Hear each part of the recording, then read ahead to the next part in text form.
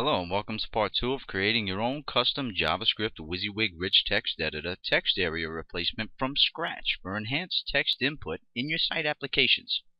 Okay, so you have your HTML form and all of your JavaScript calls ready to go, which has all been discussed in video 1. Now all you need is your JavaScript file that powers the application. So go to File, New, JavaScript. Let's go to Save As. Now once you're in the directory where your parse file and your form is, let's create a new folder that's called what you see is what you get WYSIWYG. Then we'll double click inside of that folder and this JavaScript file that we're about to create is going to be named W-Y-S-I-W-Y-G WYSIWYG. Save.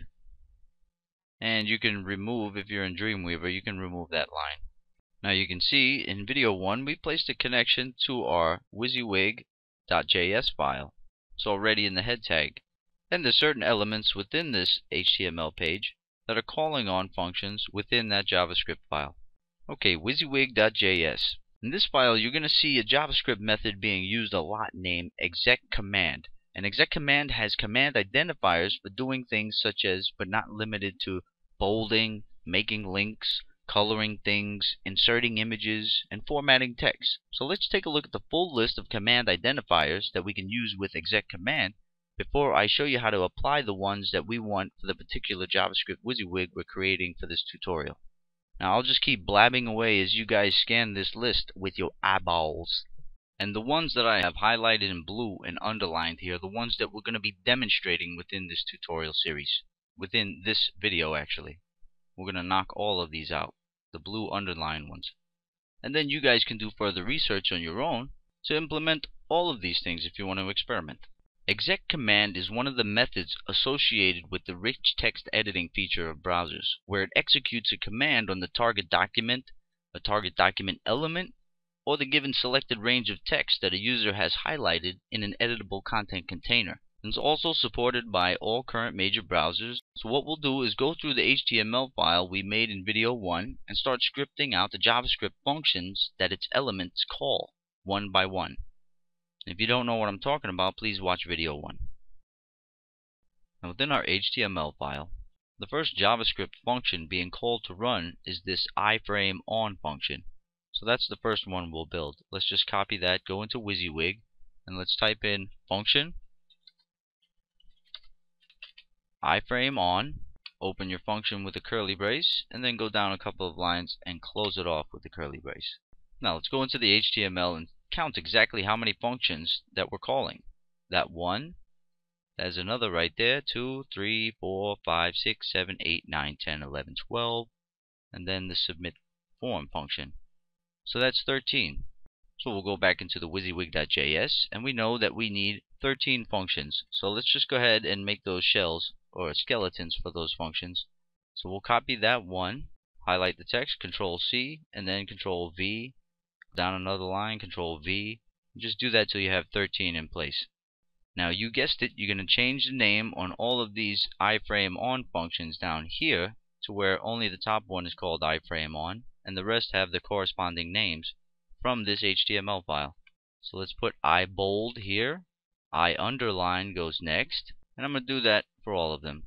Okay, so you can see I have empty function shells set up for all of my function calls that this HTML file is going to execute. The iframe on function gets this line of code. And what we're doing is we're targeting the rich text field in the document and we're making its design mode property equal to on. That way people can type in it. If you didn't do that, people wouldn't be able to type in it and edit the content that's within it. So you're targeting the iframe because in the index file you can see our iframe has the ID and name of rich text field, not our text area. Our text area has the name of my text area. So in the WYSIWYG file, we're targeting the rich text field. That's the iframe. Design mode on. So in the iBold function, we have this line of script.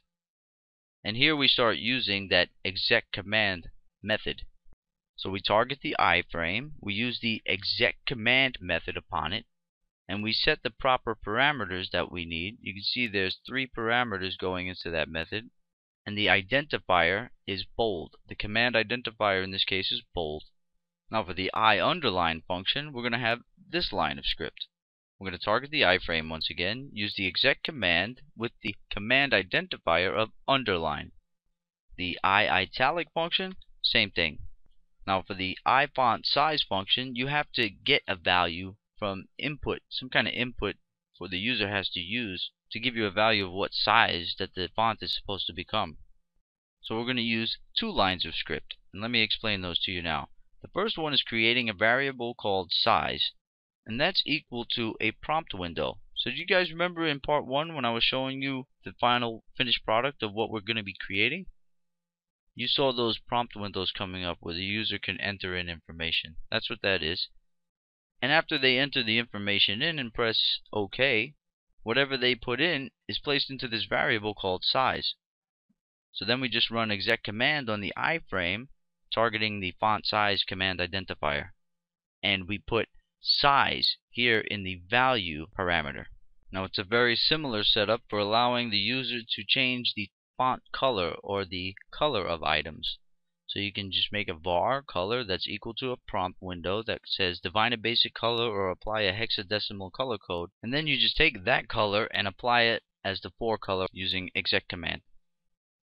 And some people choose to put a color picker. There's a lot of free JavaScript color pickers out there. You can create your own color picker if you like. But for this basic one, I'm just going to use a prompt once again to take in some kind of value. So the user can type in gray, blue, silver, gold. They can type in all those basic words for a color, and they can also put in a hexadecimal color code for advanced coloring. Now, let's make the horizontal rule function work. You can see that's very much the same as the others up top. We're using the exec command method and the insert horizontal rule command identifier. Now the unordered list and ordered list is very much the same. I told you guys this was easy. We're going to run exec command insert ordered list as the command identifier. And we're going to give that a value. The name of that list is going to be new OL, new ordered list. The I ordered list function, same thing. Now for the I link function, we're going to do a similar thing that we did up here using a variable and a prompt window. So we're going to use a link URL variable that's going to be equal to a prompt window where they enter in the URL for the link they want to make. Then you use that link URL as the value parameter for the create link command identifier of the exec command method. Now the iUnlink is very simple. You just run the unlink command identifier with the value of null. Now for the function iImage, I chose to put in another prompt window that's going to allow them to put in the image location and that's stored into a variable called image source. But this time I put in an if condition statement that says if the image source is not equal to nothing, that means if the value is actually there, then we're going to use the insert image command identifier with the value of image source. So that's just a little quick example of how you can check for null values before you actually run an exec command. Okay, now this last function was a little bit tricky to assemble, and you guys better thank me for this crap because it's just not so easily thrown out there in any documentation that I found anywhere on the web. So here you go. What we're going to do is take the form and use document get element by ID on my form, which is the name of the form that we're using. See, name, my form, ID, my form. So now we have a variable called the form, which is an identifier for that element. Now what I had to do to target the text field, I wanted to take the value of the iframe and place it into the text area. That way my form can process like normal when it submit. So I said the form dot elements and I targeted my text area, which is that hidden text area that's hiding and really it's just sitting and waiting in your form for when the form gets submit because right at that very moment when the form gets submit you take the contents of this rich text field and you place it into this my text area then you submit the form and everything works like a normal form would. So that's why we're doing this here. We're targeting the my text area dot value and we're making it equal to what's in the iframes rich text field iframe. And I had to use window.frames rich text field dot document dot body dot inner HTML to grab all the data that's within the iframe and place it into the text area. It seemed like such a simple thing to do, but it really it took me like 30 minutes, if not 45 minutes, to assemble this one line of code through trial and error. Then finally, the last thing, the last line of your WYSIWYG to make everything work is the form.submit. And that's how you actually submit your HTML form goes to my myparsefile.php like it normally would in the action, but you're able to use some JavaScript, throw in a couple of lines there to put the value of this iframes, all the HTML text that's in that iframe, you pop that into the my text area real quick and then you submit the form. That's why we're submitting the form through JavaScript. That way we can do that little bit of trickery at the end there. You get it? And that's how it works. So now what you have when you combine index.html with wysiwyg.js and myparsefile.php, which all three of these scripts are going to be available from at developphp.com whenever I get these pages up.